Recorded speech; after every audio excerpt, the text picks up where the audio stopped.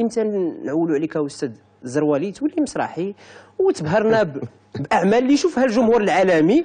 وكما قلتي وكما قلتي يصفق عليها أو لا مشى الحال شوية ولا لا؟ لا لا آه. لا أنا شوف أنا خايف عليك. الجمهور ديالي راه متمسك بيا بواحد الشدة. لا، لا، يبداو- بصدق كتبان لي آه، وغادي يبدا يقولوا وهذا السي بلال اش كيقول؟ واش شكون خول له الصلاحية لا أنه أنا كن- أنا كنسأل. أيوة، كنتمنى قلتي. انك تعطيني جواب.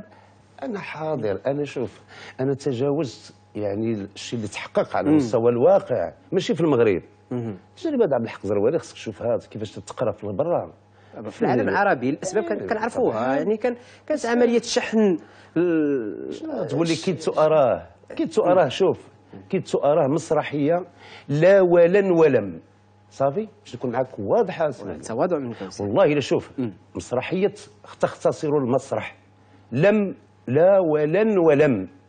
صافي أنا والله والله يعني باش نكون معاك في قمة التواضع ديالي. نعم لا أقارن نفسي إلا بشكسبير وبريشت وموليير وهادو اللي كاينين في يعني ما بقاش عندي هاد راه اساتذه كبار احسن انت راه الجمهور غيحاسبك كما يحاسبني أنا على طبعا الاسئله. غير هو أنا ذنبي أو مصيبتي انني ما خلقتش في البيئة اللي خلق فيها شكسبير ولا بريشت ولا موليير لأن هما كانوا الناس اللي هيئوا لهم ال- كانوا ناس كيقراو النصوص كانت نسبة القراءة مرتفعة. ونسبة الذوق درجة الذوق متطورة. وكان حتى المتلقي وجدوا إيه. المتلقي باش إيه، حنا إحنا- حنا أنتم سنة عقود أنتم كتشتغلوا ما وجدتوش إيه. المتلقي لا على ماشي كل حال. لا هذه سياسة. هذه سياسة ثقافية كانت بداية الاستقلال يعني قال لك آه، خرجت من الأول آه، مايلة. من الخيمه خرج آه، مايل.